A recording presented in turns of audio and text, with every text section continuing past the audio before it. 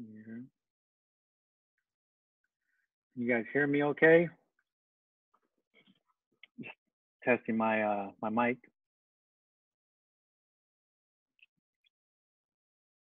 Perfect. Thank you, Alan. Appreciate it.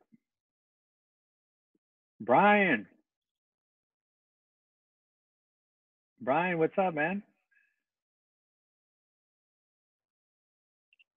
Oh, your your audio is connecting.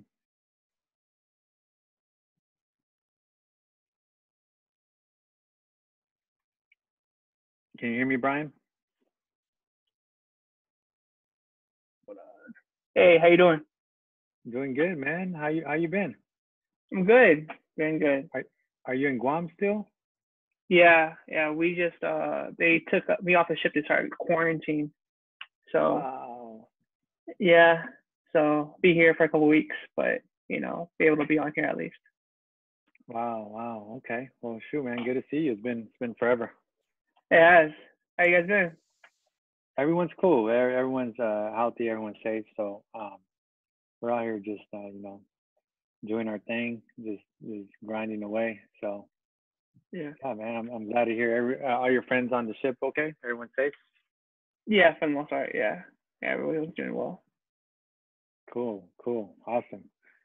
Well, good to see you. Uh, thanks for joining. Um, all right. Here goes April. Uh, we'll wait on a couple more people. Uh, thanks for everyone who who who's making it out today. So, up, Jason? Pete, Benny, hey everyone, April, Tony. Good to see you guys.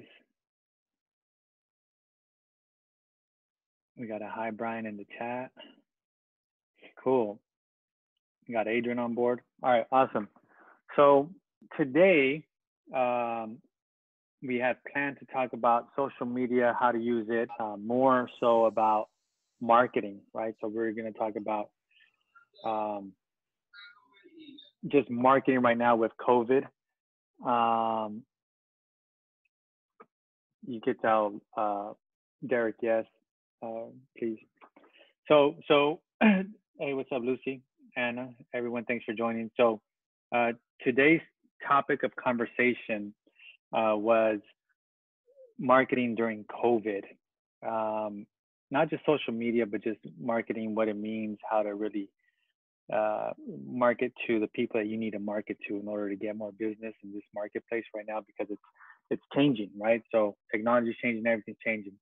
So we had Derek Evans, uh, who a lot of you guys know uh, from Smarter San Diego, and you know Derek is you know really has his pulse on what's going on with with all that marketing stuff. You know, he built his YouTube to I think six or seven thousand people. Uh, to this day, he's actually getting business from his YouTube channel that he built over the last several years. Um, with that being said, uh, we had a mix up on time with Derek, so he showed up at one o'clock instead of two o'clock, and he had already two o'clock. So he might jump in in a bit if he's finished with his two o'clock. But what I wanted to go over, I'm not going to go over and touch his topic because I think he's really good at that. Um, as far as the, the, the marketing in today's uh, COVID environment through social media. Um, so what I'm going to uh, go over is something that's uh, uh, extremely important right now, which, you know, there's a lot of us in the real estate business that's kind of just, uh, you know, uh, taking a break from real estate. And we're losing a lot of any traction that we had leading up from the beginning of the year. Uh, we're potentially losing that traction. We're losing um, our, our, our pipeline. Whenever this thing goes back to normal and, and buyers go out there and start buying and sellers start selling, our pipeline isn't going to be exactly where we want it to be. So what do we have to do? Well, we have to continue in a different way now, continue to uh, work on our business and, and build our pipeline.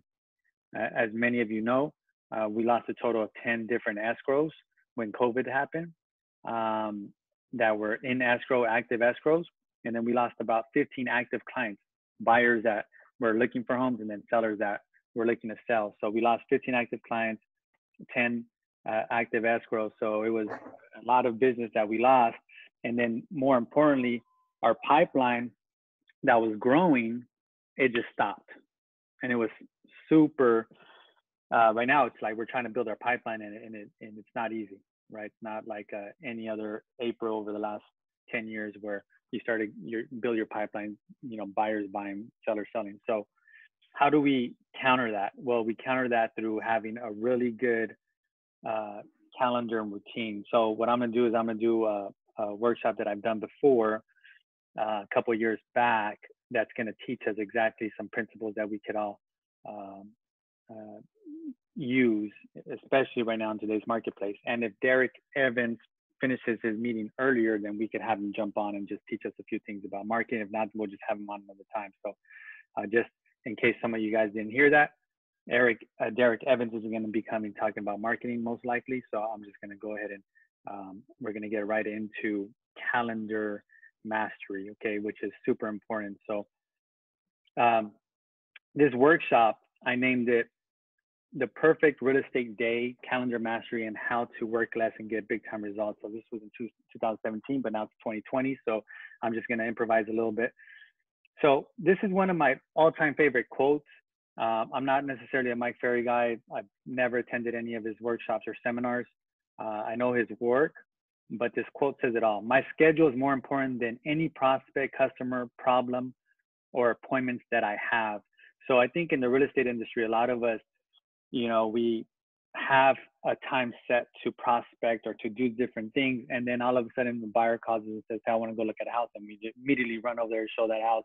Or even worse, one of our colleagues or friends says, "Hey, let's go have lunch," and then you just immediately abandon all your um, your plans and your calendar to to prospect and do things, and you just go have lunch or you get distracted easy. Um, so the quote again, my schedule is more important than any prospect, customer problem, or appointments that I have. I mean, we really have to take that to heart. So if you set yourself a calendar to do something, we have to do it. And that goes in personal life too. If you set a calendar to you know, work out every morning, you know, at seven o'clock, take a jog, and then all of a sudden, you know, 7 a.m. in the morning hits, and you know, the fat person inside of you comes out and you starts convincing yourself not to. Ah, you know what? It's kind of cold outside. It's kind of chilly. Maybe I shouldn't go for that jog. Um, you have to just remember that again. You, you set that uh, that schedule for yourself for a reason, right? You're probably out of weight. I mean, uh, you're probably overweight, out of shape, and and same thing goes with our business, our real estate business. So the first one, A, work that equals production. So what kind of work is there? So there's two types of work. Work that equals production and then work that doesn't equal production.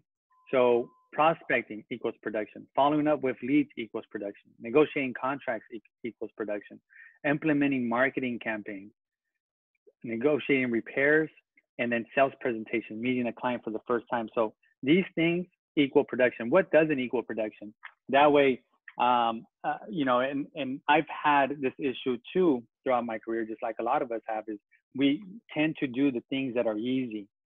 So, for example, maybe broker caravan, writing contracts, drafting flyers, talking to other agents, checking email, checking Facebook, picking up coffee, surfing the internet, showing homes, um, working on the transaction, uh, like the TC work, and picking up checks from escrow. I mean, who doesn't like picking up checks from escrow? I remember I used to love picking up escrow checks and then taking to my bank and then standing in line and depositing them and all that. Um, but that that isn't going to change your production. So what what do we have to do? Well, this teaches us two things. It's like we have to prioritize the work that equals production or e- equals dollars. And then we have to outsource the things that don't or stop doing them, like potentially checking our Facebook or um, checking our emails and talking to other agents and, and just surfing the internet. So that's two distinctions that we have to have right away. And that way we can set up our calendar the right way, okay? So, um, okay, somebody was asking me for a link to the uh, to, to the workshop. All right, so um, C, uh, a study of Fortune 500 CEOs revealed that the average CEO logs in about blank minutes a day for genuine productivity. So uh, Fortune 500, they, they did a survey and it was just amazing to find out that the average CEO logs in more uh, less than an hour a day of actual work, of actual productive work. Um, even though they're in the office eight to 10 hours, a lot of the stuff that they were doing wasn't highly productive. So let's take a, a, a quick look at that survey. Well, I'll show it to you in a bit. Um, best ways to work is productivity intervals. So high intensity training of high performers. So it's almost like uh, people that are in sports, they do sprint and recovery sessions. So they sprint really hard, they, they hit a lot of reps, and then all of a sudden they, they rest and they recover, and then they do it again. Compared to people that just work out at the gym for several hours, um, half-assing everything basically, and they don't have the they don't get the results that they actually need to have. So what we call them is uh, power hours or airplane time. So those these are 45 minute intervals of highly focused work that um, produce big time results. So in in our work, in in let's say for example, our business, we call it just you know time blocking or power hours. Where we sit down and we actually bang out phone calls. Okay, uh, we prospect. We do some of this work that equals production. Now, why is it at 45 minutes? I've seen a lot of agents where they put like uh, they block off calendar time for two hours, three hours of prospecting. I could tell you right now, if you're blocking out your calendar for several hours at a time for prospecting, it's not going to get done. You might do it one day, but then the next day and, and the following weeks, you know, you're just get it's it's too hard and people can't focus for longer than 45 minutes at a time. Some some studies say 90 minutes at a time. So um, that's you know step one is finding out what type of work is there and prioritizing the the, the productive work in 45 minute interval sessions at a time. So when I say 45 minutes, I'm talking about 45 minutes of prospecting, doing all that work, taking a break, 10, 15 minutes, doing some other type of work, and then coming back and doing another 45 minute session. So that's the uh, type of work that that uh, I'm talking about. Uh, the next one, oh, oh, by the way, this this is another quote. I don't know whose it is, but never mistake long work for hard work, aka real work. So one thing with this is, um, it's it's funny to me because a lot of people, a lot of agents, um, or anyone in the business, they mistake long hours for real work or effective hours. And you know, when I was at a company, Century 21, um, a lot of us would just say, "Man, I was in the office all day, and it was a long day," and but it wasn't productive. If, if that makes sense. If anything, we might have prospected a little bit, which is the, the the real work, but it wasn't productive. So just because you're in the office all day long doesn't mean that you're working. So the cool thing about being at home right now is that um, you should you should make yourself a little office space wherever, whatever nook or, or corner you could find, and only go in there when you're ready to work. Productive, high interval uh, uh, sessions of 45 minutes at a time. Even if you get one 45 minute session in there, uh, that's way better than than just sitting in your office just BSing all day because then all of a sudden mentally you get tired, physically you get tired because you feel like you're working but you're really not. That makes sense. So um, all we need really is one solid session uh, per day, and it makes a ton of difference. And I and I actually uh, I'll share with you at the end what type of difference it's made in, in my business over the last um, eight months. Okay. The next thing is procrastination. This is in our way. So we all procrastinate, uh, some more than others, but I think the important part is knowing that we procrastinate and doing something about it. So reason of, of procrastination, number one, we don't enjoy what we're doing. So if uh, most people say, "Hey, I hate making calls." So what do you do? You just procrastinate, procrastinate, procrastinate, and you never get it done. Um, number two, we aren't good at what we're doing.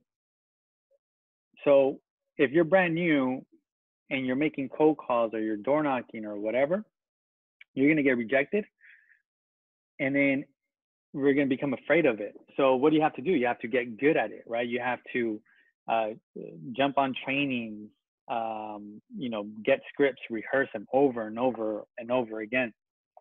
Um, number three, the other reason why we procrastinate is it's above or below our pay, pay grade.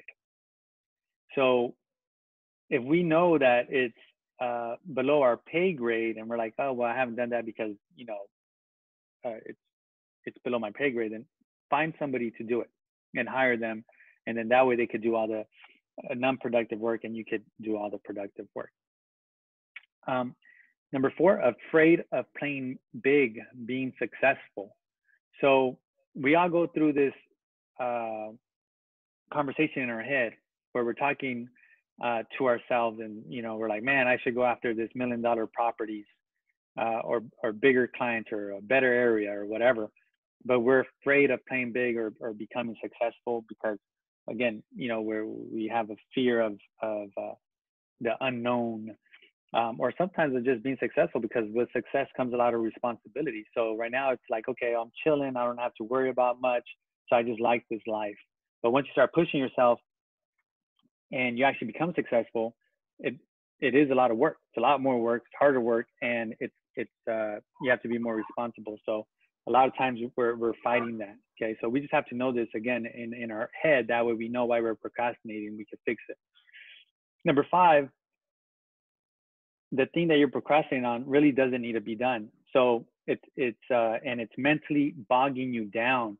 So I have a, a actually a, a story about that. I have an accountability coach, and for for many, uh, I've had him for over 10 years, where he would just hold me accountable to things. So on a weekly basis, on a Sunday, I would send him a list of things to hold me accountable to. So for sure, it was like every morning to wake up by a certain time. And then throughout the week, I would have certain things like prospecting hours or getting certain projects done. And if I didn't get it done, he would ding me a hundred bucks on my credit card. So, um, long story short, there were some projects. Trying to remember what they were, but it was consistently. I wouldn't get them done that week, so I would just pay and pay and pay. And he said, "Hey, look it, is this really important to you? Like, does it need to be done? And I thought about it and I was like, you know what? No, I don't need to do that. Like, I don't even know why I committed to it. I don't want to do it. I don't need to do it. And so a lot of times what happens is we commit to things that maybe we don't even want to do. Maybe somebody else wants us to do, or we we feel, you know, we should do, but it's not something we want to do. So if you have something like that where it's like uh, you have it as your goal, and you're not getting it done, just know that mentally it's weighing on you. And uh, it just messes with you so bad and it, it, it, uh, it tires you out. So if you feel tired and you feel uh, like you're uh, burning out, just know that some of these things in your life you don't need. Okay, you could just get rid of.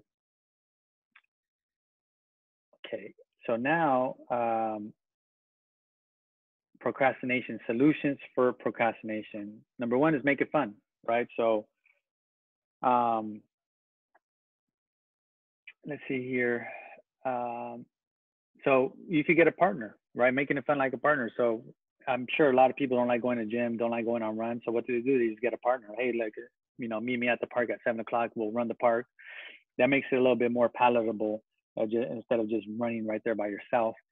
Um, same thing goes with uh, real estate. I mean, throughout the years, I met a lot of people that, uh, let's say, agents that want a door knock. They just partner up with someone and they all go door knock together. Um, I have a buddy. He makes phone calls. Uh, he's really good at it. And what he does is that dude loves drinking, so he just sits with a bottle of whatever and he just drinks and makes phone calls. So that's his making it fun, right? Um, number two, get good at it right? So again, if you're good at something, you probably uh, you'll tend not to procrastinate because you're good at it. Compared to sucking at something, of course you're going to procrastinate at it. Uh, number three, do it immediately.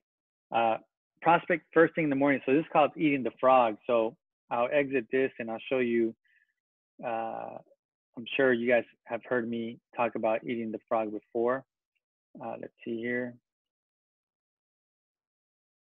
So this is like a little story. Um, I forgot which which author. Oh, there you go. Yeah, um,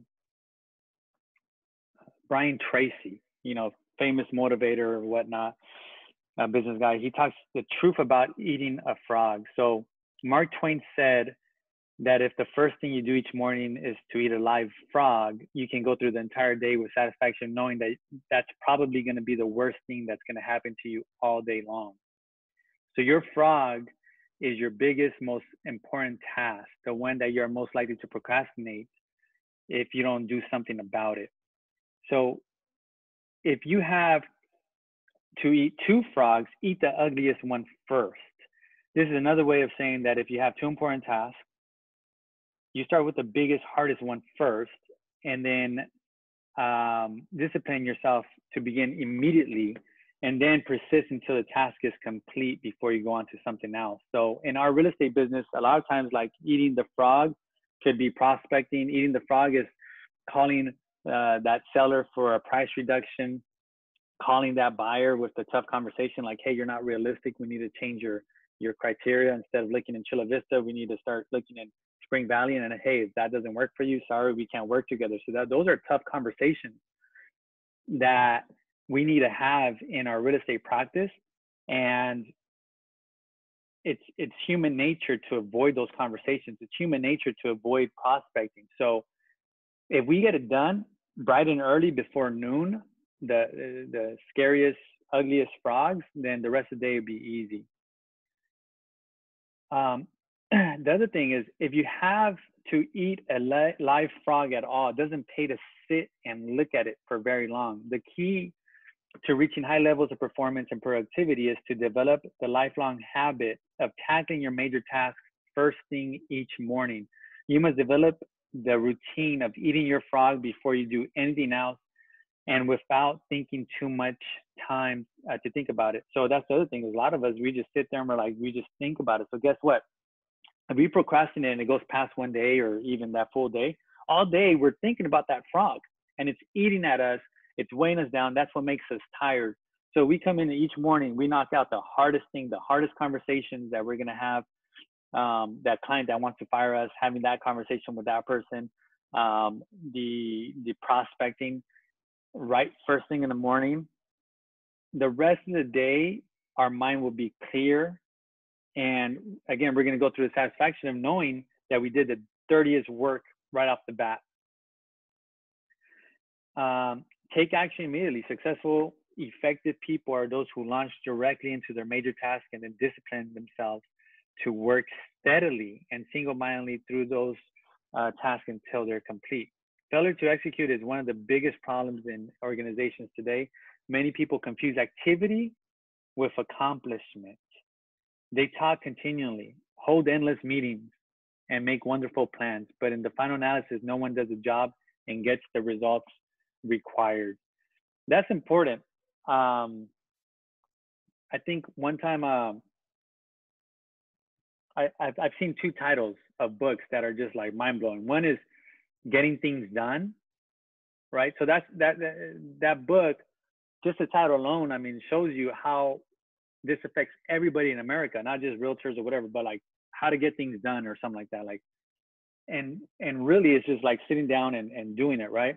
the other book was um, it was funny because my friend bought it and I thought he got scammed and it was called uh, How to Think. so I, I remember seeing that title and I was like, dude, you bought a book called How to Think, bro. Like you need to just walk into oncoming traffic, you know. But it was it was it was just funny to me because everyone in America has these issues and it's the people that actually just get past and just get it done are the people that are just be successful you know? Um i had an agent i was talking to i don't know if he was if he's on this call or not but you know, he was just telling me like, hey, like what what you know, um, what do you think about um, me and in, in uh, you know the industry that he's in, which is uh, commercial real estate, you know, and and I and I just tell him, hey man, if you're doing eight hours a day and you're just kind of BSing and all that, I'm like, I'm like, whatever industry you're in, it's not gonna work.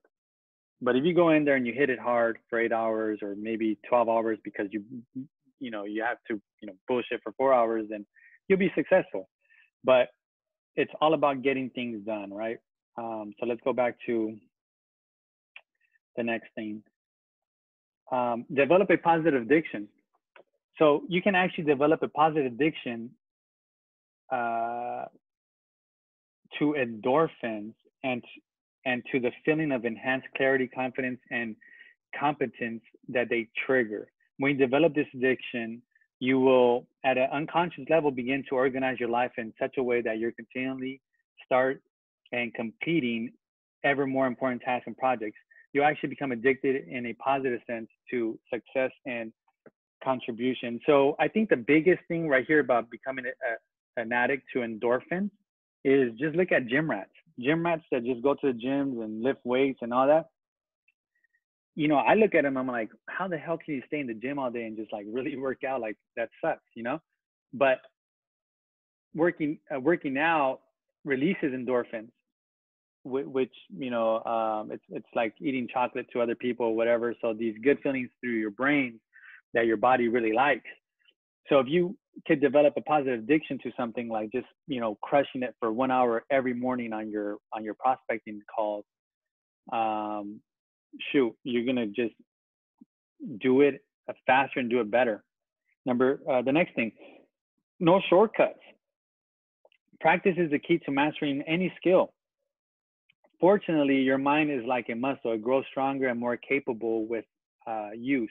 With practice, you can learn any behavior or develop any habit that you consider either desirable or necessary. You know, a good example of that is um, uh, there's uh, what, what's the name of uh, Claudia? What's the name of that class that you go to on Saturdays? Toastmasters. So I think you guys were here where when Gabe Mendes came and he talked about social media marketing and you know you look at him and he talks well and you know he he interacts with the camera well. Well, all that is practice since 2013. Toastmasters every Saturday morning, 8 a.m. Um, he got good at it, so now he really likes it, right? And a lot of us, you know, let's say we're on camera and we fumble over our words and we don't know exactly how to say things and deliver certain speeches. It's it's that's normal. That's natural. That's just with everybody. You know, if a lot of, you know, if I pick up a baseball bat and someone pitches a ball at me, I might, you know, strike out because I don't practice that every day. So it's all about practice. And in real estate, uh, a lot of us, you know, we get our license and we just don't even ever consider practice. We're just like, okay, I'm just gonna come out here and try to sell homes and talk, you know, door knock and talk to people. Um, and when we go and we fail because we're not good at it, then you know we want to quit. So uh, there's no shortcuts, right? And then the last thing here is action exercise. So what is your frog? What is the one task that you despise doing each day?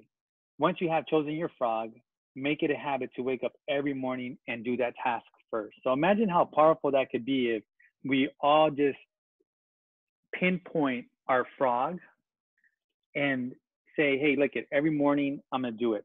And let's not commit to a year long or a month long. Let's just say, hey, day to day, you know, tomorrow morning I'm gonna wake up and I'm gonna do this thing first. And then that way the rest of the day you're mentally free and you're not being bogged down. Okay. Um, this is a really good story, The Big Rocks of Life. I'll come back to this. uh, let's see here. Let me go back here.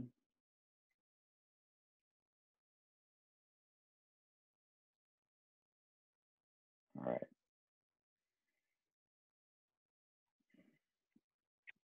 Solutions to procrastination, association front. So um,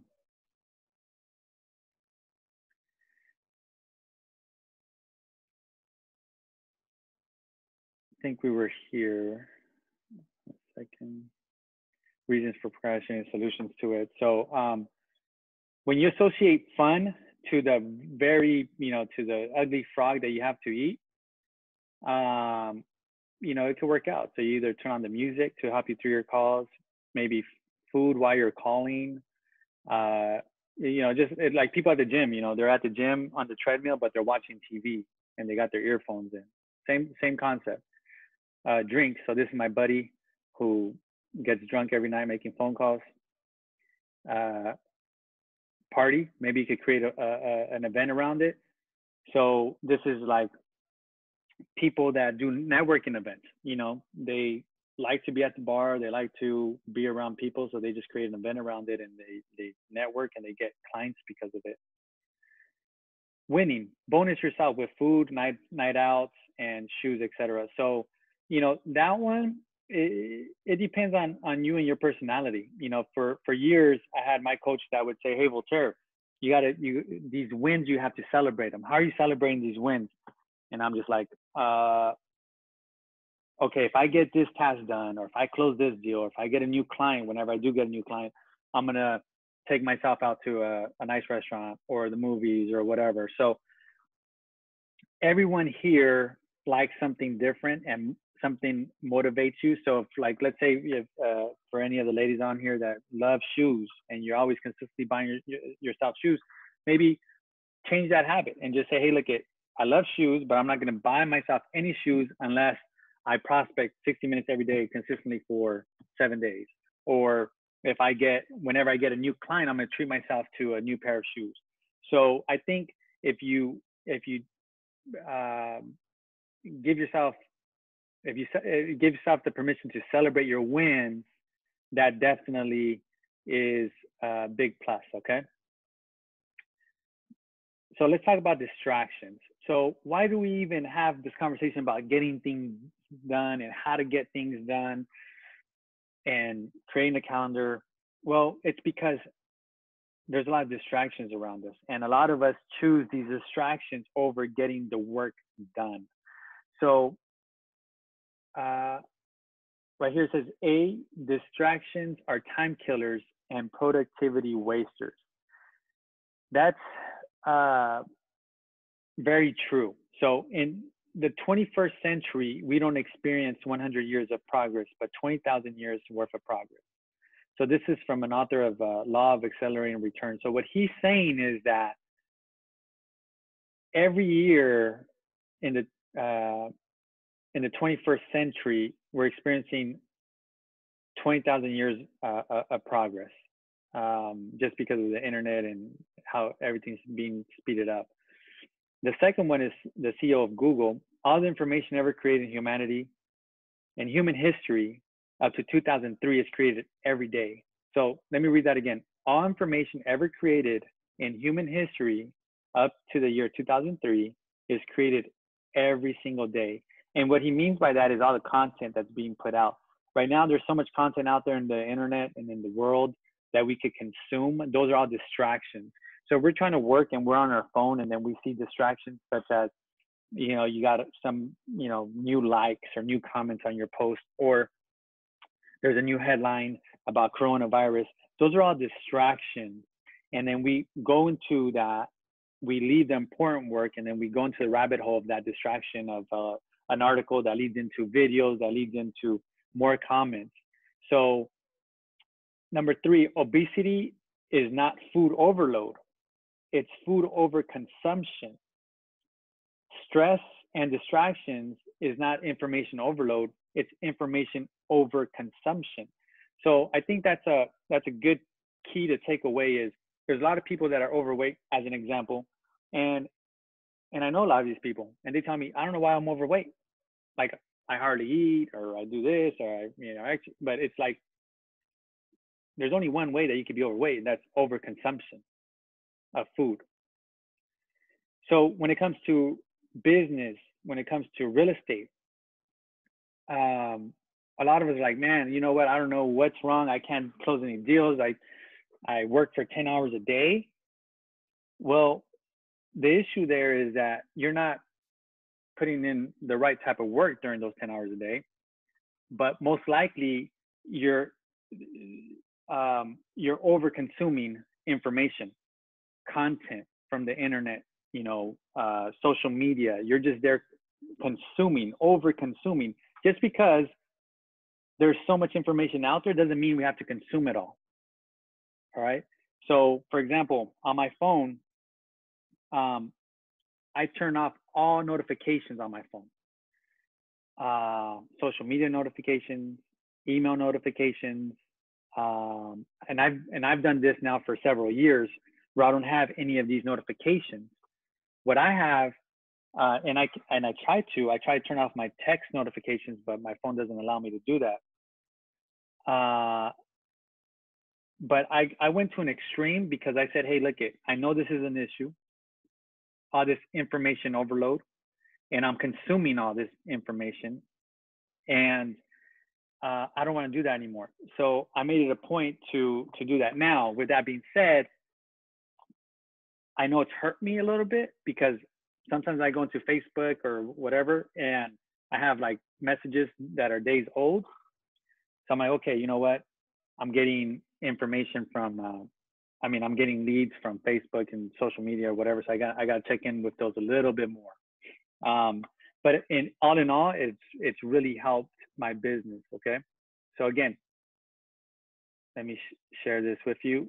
We can't over consume all the information that's out there in the world. Number four, the more overwhelmed we are, the more we search for a convenient distraction. So again, if we if we having the feeling of uh, overwhelm, then what we should just uh, do is is uh, stop uh, looking for distractions. So we, uh, we got to get rid of that. Uh, the next thing, addictions. So there's four productivity crushing addictions. Number one is we want to be wanted. We want validation.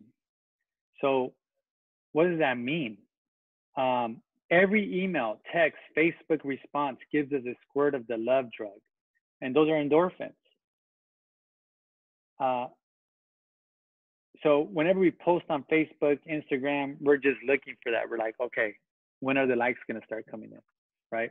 And we look through that, and and we're just, you know, and and that's a one of the product uh, for productivity crushing addictions. So let's look for exhibit two. See what that's talking about. Okay, cool. Um, so in here, it's just saying that the average 13 to 17 year old is exchanging um, several thousand messages while they're awake uh, a month.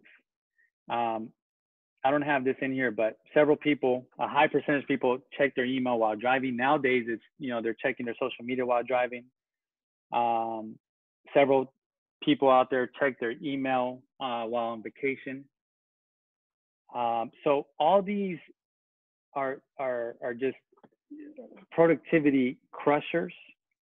Um, there was uh, over 50% of people that said that they used their phone while on the toilet. I was actually on the phone with someone yesterday, and he says, "Hey, yeah, you know what? Let me flush. Let me wash my hands, and then I'll get back to you." And uh, I was just like, holy shit. And at first I didn't catch. I was like, okay, yeah, yeah. And then I thought about it. I'm like, hold up, what are you saying? And I was like, it was it was crazy to me, right? Um, so again, we have to get rid uh, of these uh, productivity crushing addictions that that we all have. Let me go back here. And I know Derek jumped on, and and Derek, I'm I'm going over this workshop that I do. Um, I haven't done in a while, but it's it's actually pretty good pretty good on uh, calendar mastery. So, well, Derek, can I make a suggestion? Sure. You, you need to start getting some better friends. Boy, some of these guys you talk to, you, you know, there's only one commonality in all this. It's you. It's me. Yeah, that's right. yeah. Um, so, so yeah. So there's there's all this stuff going on.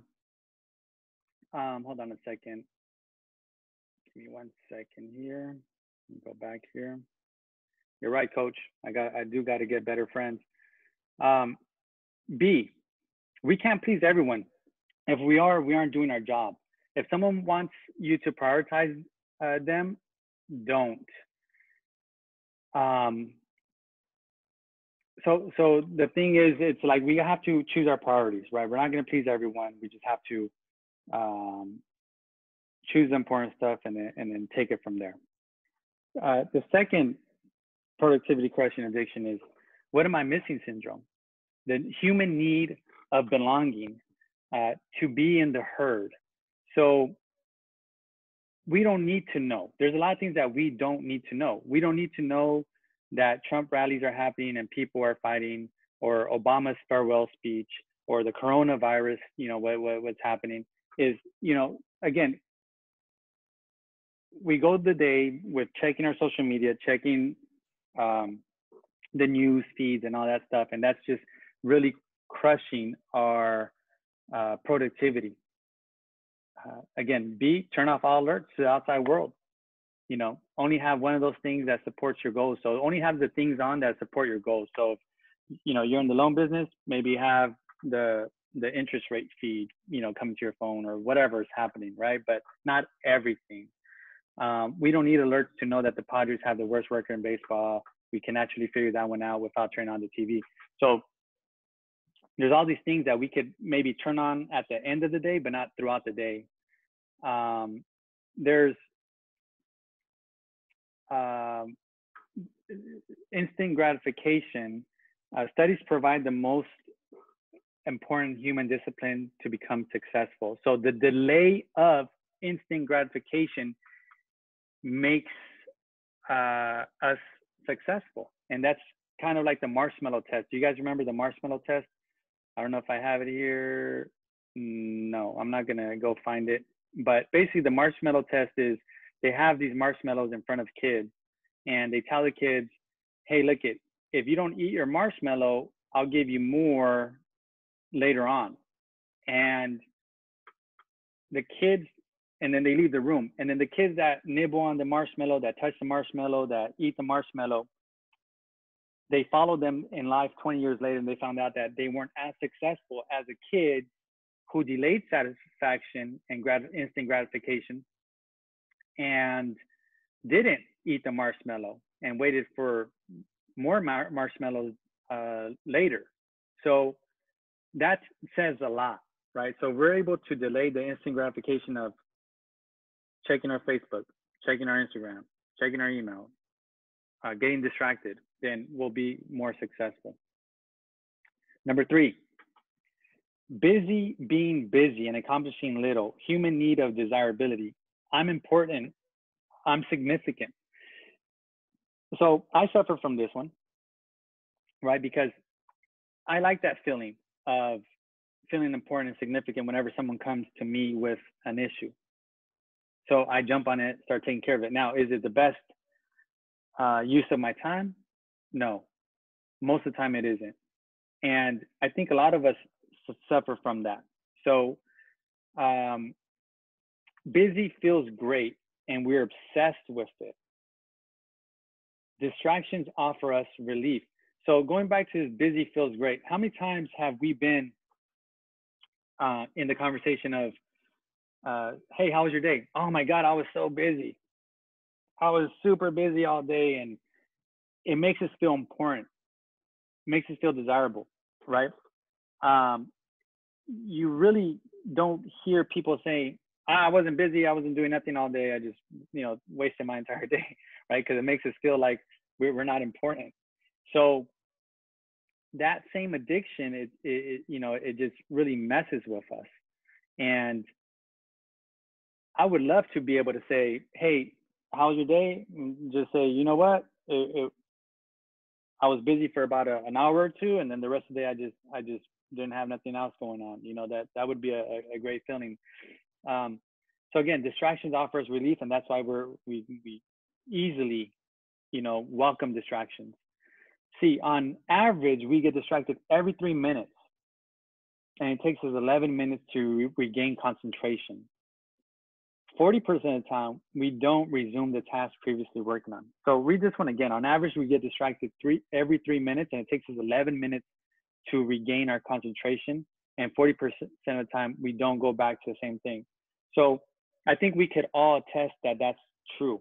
We get distracted every three minutes, and then it takes so much longer. I mean, um, there are several times, even last week, that I could think of that I was just like, uh, what was I, what was I working on? I forgot um, because I lost concentration and it, and it, and it took me a while to to gain that back. Um, I will change that Samantha to 2017 to 2020. Um, multitasking. Can we really multitask?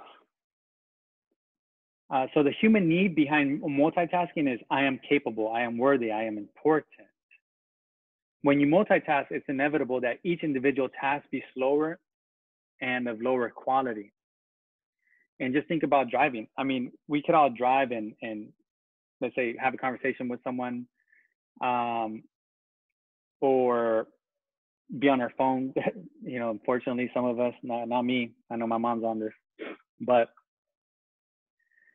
if, if you drive and you don't have the the radio on, you don't have your phone, you're not having a conversation with nobody, you probably be a lot safer. You you you it's higher quality uh, work that you're doing or, or, drive because you get there faster, safer. Um, so it's so it's really this multitasking. It's it's not real. We we really can't multitask. Um, we can't use the same part of our brain simultaneously.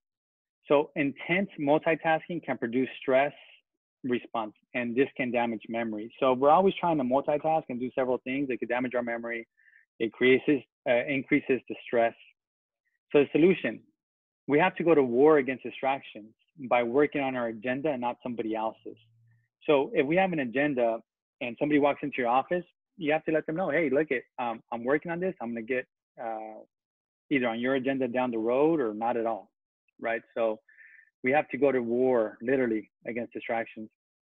Number four, eat that frog. You know, we talked about it. You know, Mark Twain said it. Uh, we got to eat that frog and then the big rocks of life. So I'll go into that one so we could all kind of uh, go over that story. But um, see here. I think we're here. All right. So this is Stephen Covey. First things first. One day, this expert was speaking to a group of business students. And to drive home a point, use an illustration I'm sure the students will never forget. After I share it with you, you'll never forget it either. As this man stood in front of the group of high powered overachievers, he said, Okay, time for a quiz. Then he pulled out one gallon wide mouth mason jar and set it in front of the table in front of him. Then he produced about half fist sized rocks and carefully placed them in one at a time into a jar. When the jar was filled to the top with no more rocks to fit inside, he asked, Is this jar full? Everyone in the class said yes. Then he said, Really? He reached under the table and pulled out a bucket of gravel, then dumped some gravel in and shook the jar, causing the pieces of gravel to work themselves down into the spaces between the big rocks.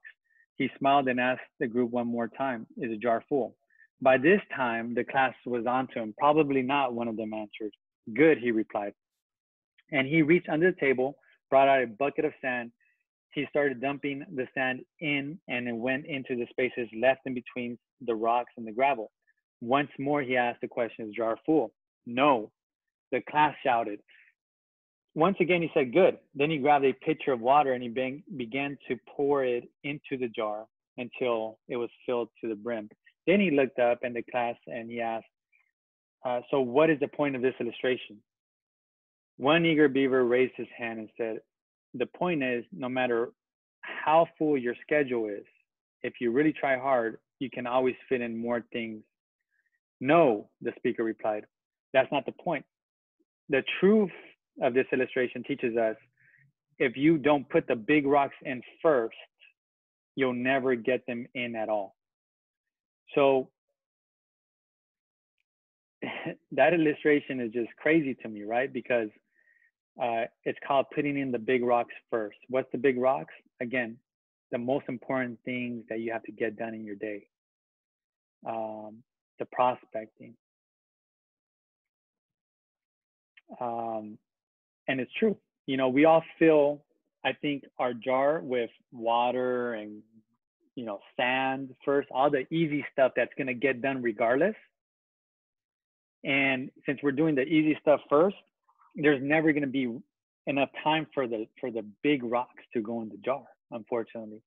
And if we run our business like that, our our life, our family, or you know whatever you want to call it, it's it's uh, we're never going to accomplish great things. All these things that we set out to be, right? Because again, we're we're we're those small things, the the in his example, the water, the the gravel, the sand, that's going to happen. The emails, they're going to get checked. You know, the um, the inspections are going to get scheduled. You know, all these things that aren't the fundamental pieces of our business, they're going to happen regardless. But the prospecting, the hard stuff, that that that isn't going to get done unless you actually make it a point to get it done. And that's you know, eating the frog, doing the biggest things right. You know, when you wake up in the morning. um, how to work less and accomplish more. Uh, set a goal for yourself. Once it's uh, or, or, or rules or a schedule, once set, don't break them. Choose your power hours for yourself. Sunday night, 45 minute blocks. Choose times to respond to people via email or phone calls. By the way, this choose a time to respond to people via emails and phone calls. I used to think it was like kind of cheesy. I used to call real estate agents and I would hear their voicemail and they said, hi, you know, re- you reached Ronnie, and I will be returning your call today between 12 and 1 p.m. and 5 to 6 p.m. And if you call me after 6:30 p.m., I'm gonna be with my family, and I can't call you back. I used to think that was cheesy, but now looking at it is like, dude, that dude was, dude, Ronnie was the smartest dude out there because he's prioritizing his time, um, even when to call people back. Um, choose how to handle people distracting uh, you in your life. You have to be upfront. So whoever's a distraction in your life and they're always, you know, taking time and, and asking to be on your on their schedule, you have to be upfront and just, you know, uh, tell them, hey, look, it, I got this schedule for myself. I got to knock it out, and and right now I can't deal with you. So the next thing is you can list three things that you'll stop to tolerating. People walking in and wanting to talk to me. Two, me being distracted during my power hour sessions. Three, myself scheduling other items during my prospecting times. That's very easy to do is if you have your prospecting times and then something else, a distraction, and you choose it, that's the easiest thing. And I think uh, that haunts a lot of us. Things that we should do, create specific goals. Create a calendar that will in turn produce those goals. Um, calendar personal time and working time. Uh, number four, work hard, then take breaks, schedule it, recover. And then D, fill out your MVP for each day, for each, for each day. So let's go over that really quick. Uh, here we go. Okay, so this is, you know, just a, a, a copy of a schedule. Um, I'll actually show you my schedule right here. Can you guys see this? Can you see it, Ro, the, the new schedule? Cool. All right. Yes. So we can see it. Thank you. Um, so anything in green is prospecting time. So green, that's money. That's you know, I'm, I'm prospecting. Um, everything else is you know, uh, things that aren't going to be you know really putting money in my pocket. So I make sure now that everything in green is is uh, happens. Now the other thing is with doing your your your your calendar is um, you want to try to get all your green stuff in as early as possible in the morning, right? Um, so you want to do that. You know, I didn't do a good job here. Wednesdays we've been doing prospecting at night anyways for the longest, so that's already set. Um, so you always want to just kind of just uh, make sure that you you have this calendar and you you could color coordinate. I know April she has like five different colors on hers. Um, but with me, I just put, you know, prioritize everything in green, make sure it gets done. Okay. All right. Um, and by the way, before I used to have more prospecting hours. If you're newer, you should have several prospecting hours separated by breaks. You know, 45 minutes at a time, 60 minutes at a time. So you should have two to three per day. Okay, if you're a newer agent and you're looking for more business. All right, so here we are.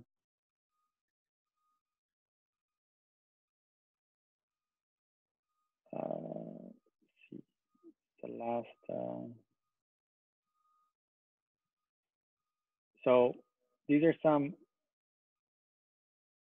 some of the goals that you could do for yourself every day. So every day you could do your top three most valuable priorities, time chunk to complete. So, you know, if you're going to prospect, you could do, you know, 45 minutes or an hour 30. That way you know exactly what you're going to do. Um, you know, uh, if it's, you know, eating a frog, talking to a client that's going to fire you, you need, you need to set that aside as well. Um, so you want to have those three MVPs for yourself every single day. Okay. And the last thing I'll leave you with is this.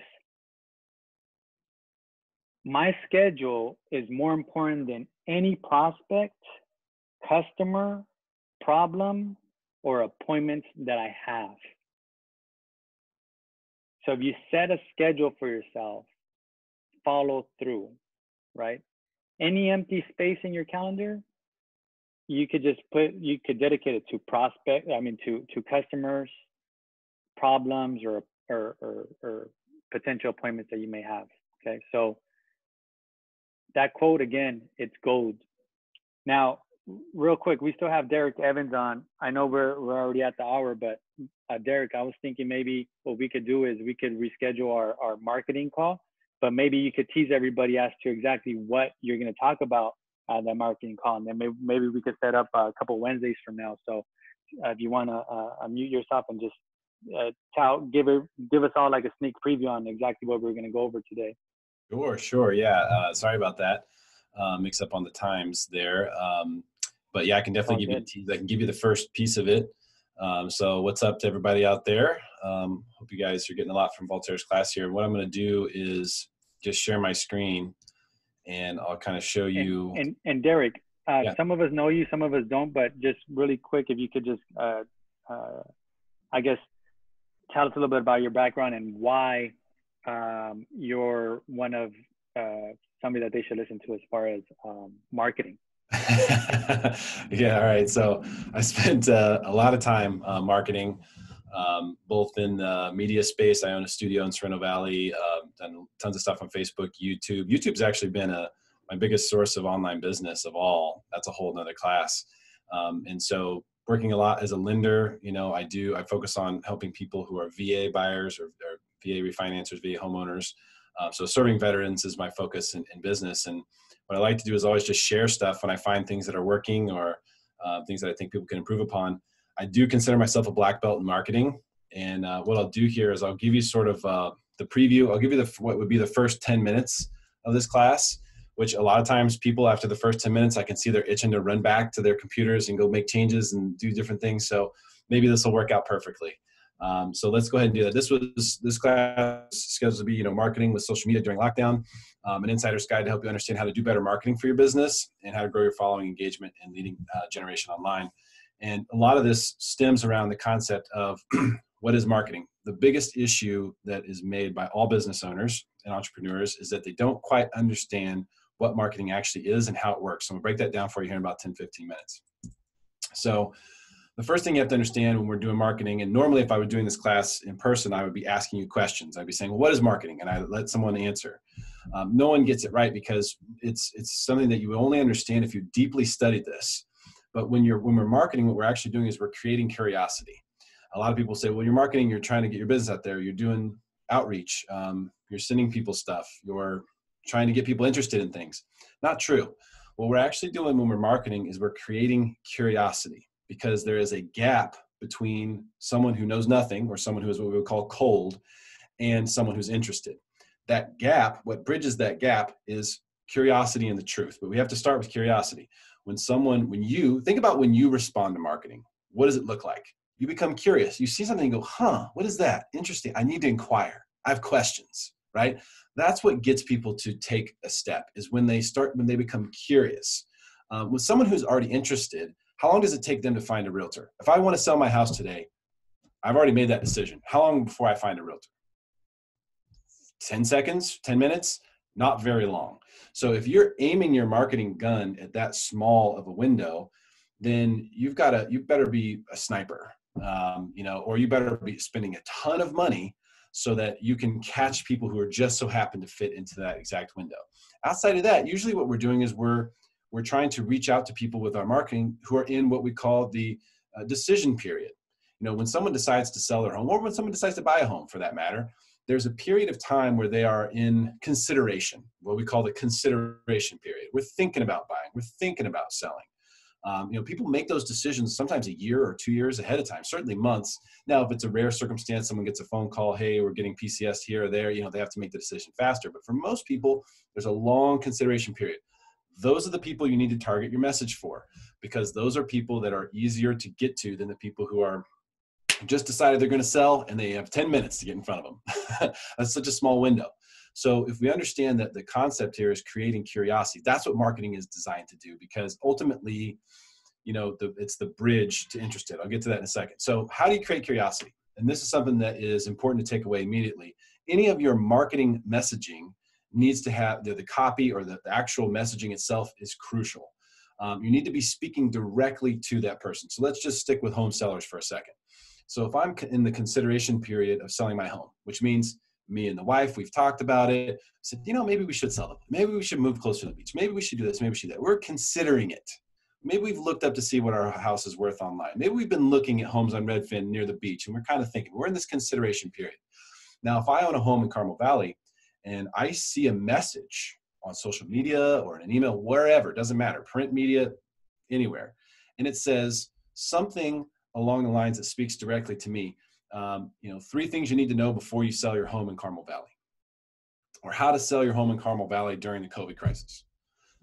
I, no matter who you are, if I don't know you from anyone, because your messaging is so specific to my circumstance, I have to look at it. If I see a video like that, if I'm just scrolling through YouTube and I see that, I have to look at it. I have no choice because it's so specific. A non-real estate example, um, which is uh, one that I use frequently is when looking for a riding lawnmower. I actually just said this. I wasn't looking for riding lawnmower. It started. They started. The ads started showing up. Super creepy, but that's how some of this marketing stuff works these days. So, but if I were actually looking for riding lawnmower and I saw this this article that came up said how to choose the best riding lawnmower, I would have to look at that article because it's so specific to what I need. So we need to create curiosity, and it's very important. The messaging that we use needs to speak directly to those people who are in the consideration period, the consideration of buying or the consideration of selling. If we are make the messaging for that person, even if we don't know who that person is yet, we make the messaging for that person, they will have to look at it because it is so relevant to them. And remember, we're all very busy. We have lots of things going on. We have lots of places to go get content. So the messaging, in order for us to, to get to our attention, had better be really specific for us. So curiosity creation is the goal of marketing. You do that best through copy, the wording, the messaging. That's the key. The facts are what determine interest. A lot of times when I ask people about marketing, they say it's about getting people interested. Not true. We want to create curiosity with people. It's the facts that determine whether they're interested or not. So if we're promoting a property and someone reaches out, they're curious, right? They start asking questions. Does it does it have a bedroom on the first floor? Um, does there a hot tub? In the community pool area, they start asking questions because they're curious. Now, the facts will determine whether they're interested or not. The facts and our ability to sell, right? So the facts, hey, no, it doesn't have a hot tub, but there's a great club right across the street. Or, yeah, they don't have a hot tub, but the pool is heated. It's very comfortable. You know, so the facts and our ability to sell will determine whether someone is interested or not. How much is the would the payment be on this place if I didn't have any money down? Whatever. It'll be this much. Oh wow, that's less than I pay in rent now I'm interested. Or wow, that's a thousand dollars more than I pay in rent. I'm not interested. So facts determine interest, facts and saleability. Uh, but for as far as you know, create you know, getting response from marketing, it's about creating curiosity. So what is marketing then? It's you know the difference between I'm going to talk about marketing and branding here because this is the big mistake that most people make. In order for it to be a marketing message, there has to be an offer. Okay, and this offer has to be qualified by these three um, pieces of information I'm going to give you here if you are putting messaging out there, I don't care where it's on social media, in a mailer, it doesn't matter, and it does not have this, it is not marketing. So you have to have some kind of offer. Now, the offer can be expertise, but it's got to be very specific. It's got to be super specific information if that's the case. I gave the example earlier. Um, how to you know sell your Carmel Valley home in the COVID crisis, or top three things you need to know before you sell your home in Carmel Valley during the COVID crisis. That's the kind of you know messaging that you can use for expertise or information to be the offer, which is not you know not the easiest way to go about it, but that is one option, obviously. So uh, you, the offer has to be something of value. Um, we've seen, uh, I'm sure some of you have seen the um, billboards on the 805, at least I know I drive past one every day. Um, a very prominent real estate agent who spends a lot of money marketing has a billboard there.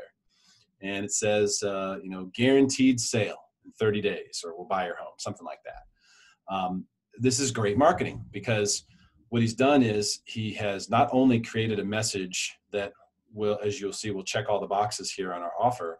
But it also, the messaging is designed for who? Someone who wants to sell their home quick. So that that offer appeals to someone who wants to sell their home in the next 30 days. So regardless, of, he's not targeting that message. He's putting it on a billboard because he knows I can't aim that small. I've got to put this in front of everyone so that when someone does get that moment where they go, we need to sell our house fast, we think about the guy who said he can sell it in less than 30 days guaranteed. So the messaging speaks to the perfect client. And that's the reason why it's such a good ad. And obviously reaches a lot of people, very expensive too. But that's just an example I think maybe some people have seen. So this offer needs to be valuable in the eyes of the target um, that you're reaching out to. It also needs to be something that's typically, you know, that's considered to be free. Um, so you don't want that offer to, to, have a cost associated with it. You want it to be free, and the only cost is for them to hand over their information to you to basically say, "Here's my data, here's my phone number, here's my email," and then I will receive the information. It also needs to be what I call easy squared. So it needs to be easy to understand, and it needs to be easy to cash in.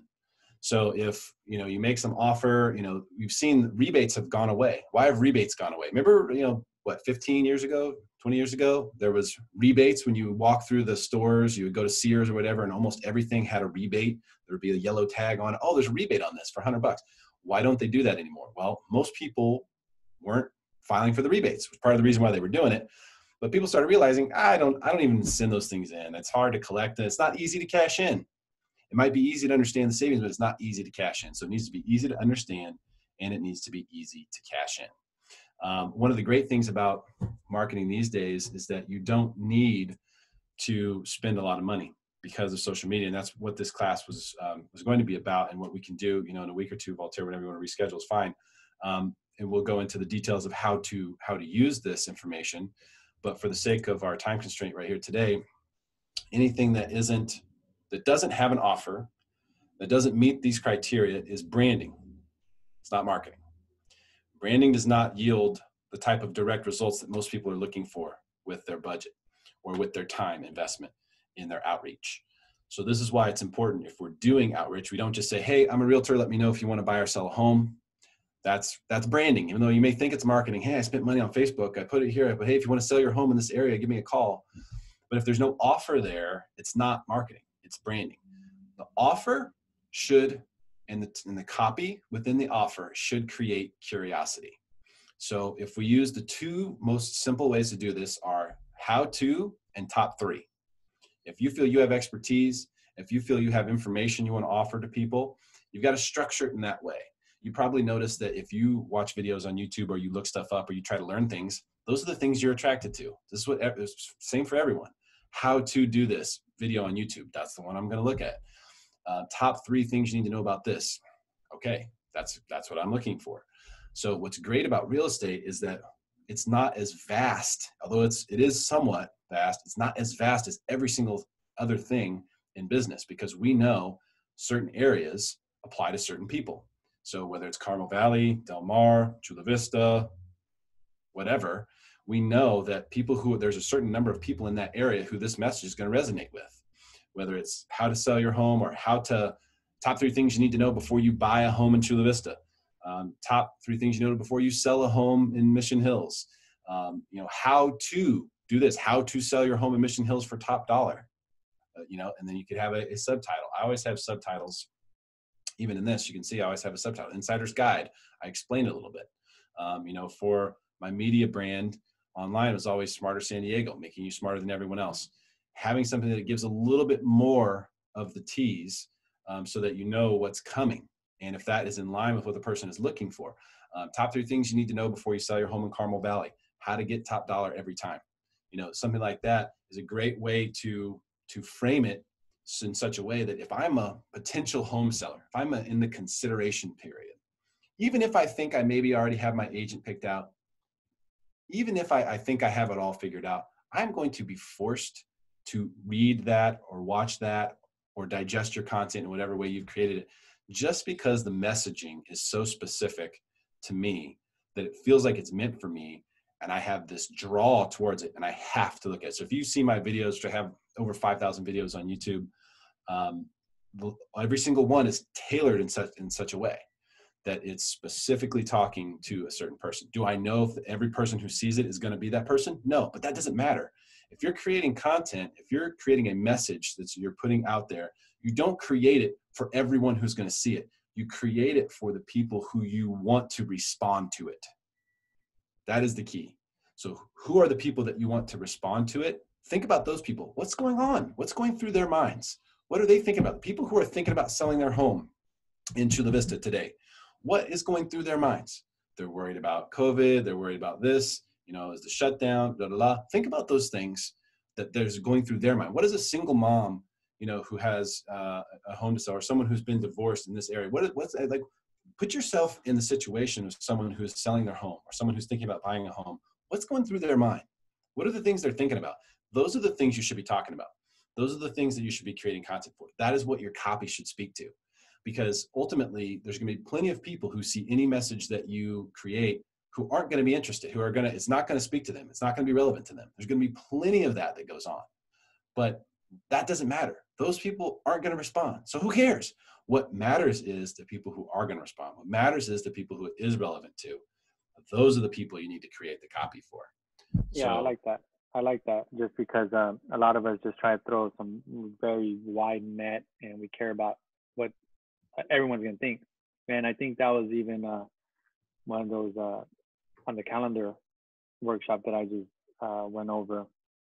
Said you can't please everyone, and you know why try? You just want to focus in on one person one type of uh, person that you want to to pick up and call you. So, um, so when we do this uh, marketing thing, uh, Derek, yeah, we're we're going to be able to walk away like every agent is going to be walk walk away with knowing the difference between marketing and branding, and then also with ideas on how to create our own marketing and our own branding for for our real estate and this the, the rest of the year, right? Yeah, yeah. So uh, and that's that's kind of the final point on this little intro that I had set up here. So this is just the intro for the class. So we can understand, okay, the concept of marketing better first. If we do that first, and then we give you the playbook, then it will work much better for you. And so that was sort of the setup. And the last sort of piece of information here, Voltaire, is right on what you're speaking with, which is if you do marketing well, it is also branding. Good marketing can also be branding. It's face recognition, it's brand recognition, it's all the things that you get with branding. Um, but it's better because you also have a direct response offer. So if you do marketing well, you don't need to do branding. Your marketing is your branding. Um, right. And that is when I lead into basically what's next and essentially what I call, um, you know, the, the Facebook five. And I, I, break down a whole bunch of stuff. I'll show you things on the screen and stuff like that. So um, we'll look forward to doing that Voltaire next, uh, next week or the week after, whenever we schedule. Cool. Sounds good. Yeah, thanks for your time, and and uh, we'll link up soon, and uh, we'll send everybody an email letting them know when. Does anyone have any questions before we end the the meeting, whether it's about the marketing side or whether it was about the calendar side of things that we went over? Anybody at all? Well, Tara, I don't have a question, but I do have a suggestion. It's uh, calendarpedia.com. I've been using them for a very long time when I was in college for a learning class. It's actually uh, really simple and it gives you the hour outline and i'm very old school so i like things printed as well i do have my calendar on my email and also uh, printed calendars is what helps me out so i know that a lot of us are a little older, so that might be a good resource. And it's free. You can donate to the page if you want to contribute, but um, I've been using it for a very long time and it helps me. And another uh, another good read is when I was with Cal. Go ahead. What was the name of it? The website? Calendarpedia.com. Calendar PDF. Pedia. Pedia, like Wikipedia. Oh, pedia.com. Yeah, and they actually have uh, different calendars um, that you can use, uh, different outlines. And another thing, going back to the the tasks, when I was with Keller Williams, uh, Gary Keller has a book called The One Thing, and he focused on just a one big thing, and that helps me out a lot because I'm a mom. I have a lot of things that I have to do as well. Um, but the one thing helps me to stay focused, and that's like the like eating that frog that you were talking about just focusing on the the one thing Yeah, yeah, yeah definitely. Uh, having one goal instead of 10, right? Um, cool. Thanks for that. And um, yeah, I'm jumping on Calendarpedia right now. Check it out. Um, anybody else? Uh, questions, comments, suggestions? Cool. All right. Good to see everybody, especially uh, Brian out in Guam. Uh, he's stationed over there right now. He had to get off the boat. There's some complications with COVID on the boat, so uh, we'll we'll be praying for you, man, and just obviously I, always wishing you well. So um, thanks Appreciate for it. jumping on. Yeah, of course. Um, awesome. Uh, so we'll see each other soon. Uh, next week we're gonna have uh, one of the top hustlers I've ever met, Leo Gonzalez, come on here and just talk about how he does about 60, 70 deals a year uh, just by by hustling, man. Um, this guy's a guy that I would. Uh, we we shared uh, some space together for several years next to each other, um, and I would come in Saturday, Sunday mornings, and he was just grinding. But you're you're gonna see what he's doing right now in COVID during COVID just to be uh, uh, successful still and he's been doing it for a long time, ranked number two in South County for many years in a row. So um, we'll we'll we'll have him on board next week, and and then we'll schedule Derek, and then we'll update everybody. So uh, appreciate you guys. Take care. thanks walter you thanks later. Sarah. Yeah, for sure. See ya. Hey Later. guys, take it easy. Peace. You All can right, man. Take care, Brian.